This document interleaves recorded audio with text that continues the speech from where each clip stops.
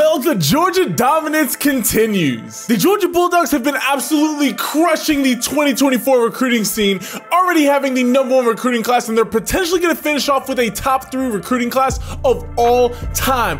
And now they're already starting to bring in players in the class of 2024. This is Tae Harris. Sit him down. Okay, wait a second now. My man's popping off helmets out here. Big, let's go. My guy Tae Harris coming out of Cedartown High School, standing at 6 foot 180 pounds. This sophomore DB, hey, if he's making plays like that already, I'm excited to see what he's looking like out there. Yo, I don't know if I don't know if I don't know if, he, if he's really got that hit, if he's really hitting like that, or if you know the ball just popping out a little different. But whenever he hits people, it looks like he's he's putting a little bit of oomph on it. Oh no, no, he's really like that. He's really like that. He's really dropping the hammer on these people. Let's go, Tae. Oh, way to extend out for that. You'll love to see it. All my UGA fans, leave this video a like for your new dominant, hard-hitting corner.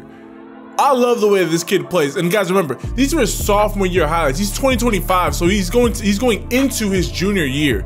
This kid is he just has all the potential in the world. I mean, first off, six foot 180 pounds as a sophomore he he's already college size as a corner as a sophomore going into his junior year. So you love to see the physicality. Normally you're not seeing sophomore like normally if you see a DB, okay, like you know they're they're, they're fast, you know maybe they got a little bit of maybe they got some hops, but you're not seeing the physicality at such a young age. You love to see a young player really showing off that physicality because it just shows that they have a very good understanding of how to play their position. I, I, I love this too. Watch how you know a lot a lot of especially young corners you know and you could even say you could even give a little bit of a case of him doing it in this play but you know a lot of a lot of young guys they either try and go inside and they try and cheat and just get away from the contact or which I think he could work on is they just kind of run straight at the wide receiver on little screens like this. I think he can use his arms to get a little bit more extension, but to be able to shed the block and still maintain contain outside contain is huge. Like I was, that was something that would get my defensive coach so mad is like anytime that a corner would come screaming down, but they would take an inside route and the wide receiver would just easily be able to break contain and head to the outside. Like you need to be able to always keep contained. So I love seeing Tae Harris, even as a young player, consistently pushing the play back inside. Yeah, his ability to be able to make these open field tackles is huge. So it just looks like, uh, from what I'm seeing, I know that we're a little bit early for the class of 2025, but it looks like we're already seeing a pure top tier lockdown hard hitting quarter. If Tae Harris is ranked anywhere outside of the top five corners in the class, something is wrong. You do not get kids who are this technically sound and then also love to hit. That, that just doesn't come around that often. Oh, oh, there it is. Yeah, he's got he's got the lockdown. He can run with the he can run with wide receivers. He can lay that hit.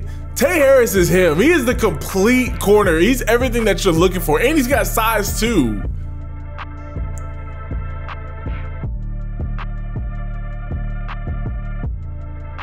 Quarterback, what are you doing? Why, why, why are you throwing it at my guy? Like, come on, do you want that ball to get picked? Stays patient, keeps his eyes. Yup. Again, look at look at okay. Hold on a second. Look at him just blow up this wide receiver right here and maintain outside leverage.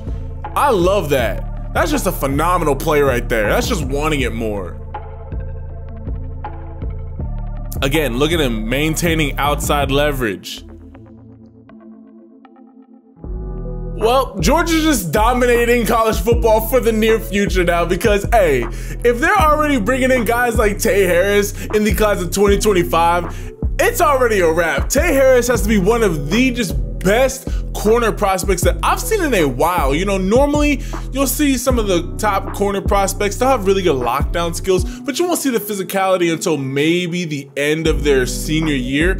So to be able to see Tae Harris demonstrating that he can he already has a very high understanding of how to play the corner position as far as running with wide receivers, you know, using his hips to very quickly and easily get in and out of his back pedal. But then to also add the physicality of not being able to make an open field tackle, consistently leveraging the play back inside towards the middle of the field. Like Tae Harris is everything that you're looking for in a Georgia Bulldog recruit. And I'm excited to see what he looks like whenever he inevitably gets down to Athens. I want to hear from all my UGA fans. Comment down below what are you guys' thoughts on Tae Harris. And be sure to hit that subscribe button because, hey, whenever I, I, I, I honestly believe Georgia's going to win the national championship back to back to back. I, I just I, I don't see who is going to get in their way. The only team that's getting in Georgia's way is themselves. So hit that subscribe button because we're going to be covering Georgia's entire 2023-2024 college football journey, and I would love to for you guys to be a part of that.